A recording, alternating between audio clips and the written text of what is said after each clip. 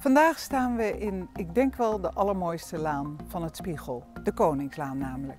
Ehm, we gaan vandaag een huis bekijken. Het is een helft van een dubbel, maar door de enorme breedte van het huis zou je denken dat het een vrijstaand huis is. Het heeft een grote oprit met een garage, met een puntdak, grote vliering. En ik stel voor dat we die kant op lopen. Gaat u mee? We zijn hier in de hal en zoals u kunt zien komen alle deuren uit hier op deze centrale hal met een prachtig origineel trappenhuis.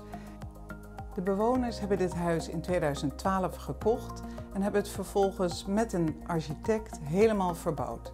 Je kunt zeggen dat het een nieuw huis is in een oude schil, oude originele schil.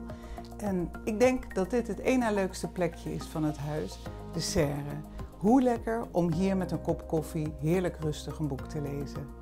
We staan nu in de living, woonkamer, voorkamer, achterkamer, ensuite met prachtige originele deuren. Alle deuren in het huis zijn origineel en helemaal vernieuwd en opnieuw geschilderd. Ook openslaande deuren naar de voortuin en daar zie je weer de deur naar de serre. We lopen door naar de eetkamer. De eetkamer is uitgebouwd aan de achterzijde, evenals de woonkeuken. En wat het mooie is, dat ze hier gebruik hebben gemaakt van een enorme lichtkoepel. Waardoor je niet alleen hier veel licht hebt, maar het straalt helemaal door, door de hele kamer.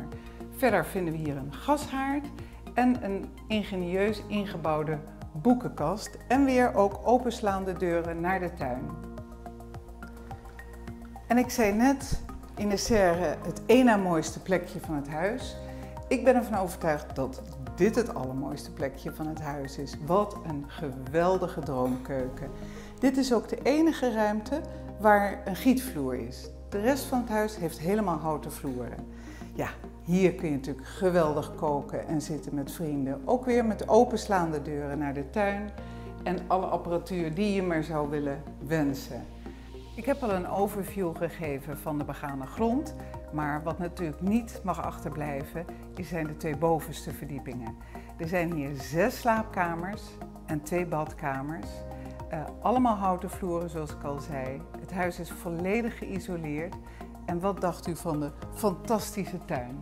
De tuin is lekker diep, volop privacy en heeft diverse terrassen waar je heerlijk op kan zitten. Ik nodig u uit om bij ons langs te komen en ik laat u het huis graag zien. Tot heel snel, hoop ik. Dag!